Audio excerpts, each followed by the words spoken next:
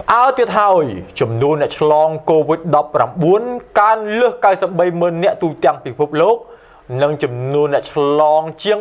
47000នាក់ TNM ទូរទស្សន៍អនឡាញដំបូងគេនៅកម្ពុជាតារីគួគឺជាម្សៅលាបខ្លួនទារកនិងកូម៉ាយោងតាមគេហទំព័រពិភពលោក Worldometer គិតត្រឹមម៉ោង9នាទីព្រឹកថ្ងៃប្រហ័សទី2ខែមេសាឆ្នាំ2020នេះបានបង្ហាញឲ្យដឹងថាចំនួនករណីសរុបនៃអ្នកឆ្លងជំងឺ COVID-19 នៅទូទាំងសកលលោកបានកើនឡើងដល់935581នាក់ហើយដែលក្នុងនោះ47223នាក់បានស្លាប់បាត់បង់ជីវិតនិង194 4260នាក់ផ្សេងទៀតបានជាសះស្បើយឡើងវិញបើយោងតាមគេហទំព័រនេះដដែលបានបង្ហាញទៀតថាសម្រាប់ប្រទេសដែលឈរលេខ1ក្នុងតារាងមានអ្នកឆ្លងជំងឺ Covid-19 ច្រើនជាងគេបំផុតនោះគឺសហរដ្ឋអាមេរិកដែលមានចំនួន210,5081នាក់ក្នុងនោះអ្នកជំងឺ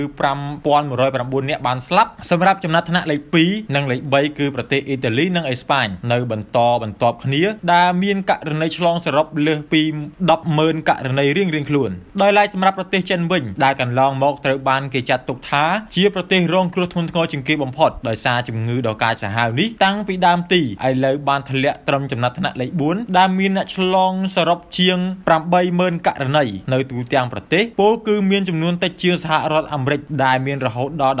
133,000ករណីឯណោះខ្ញុំបាទសៃហាពីទូរទស្សន៍អនឡាញ TNM តារីគួគឺជាម្សៅលាបខ្លួនទារកនិងកូម៉ា